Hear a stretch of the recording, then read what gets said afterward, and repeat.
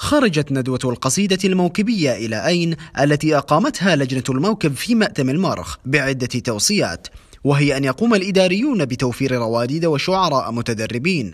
كما شملت التوصيات التأكيد على دور الإداريين في تقليل عدد مرات خروج الموكب وتفعيل النقد الموضوعي سواء من الجمهور أو الرادود للقصيدة.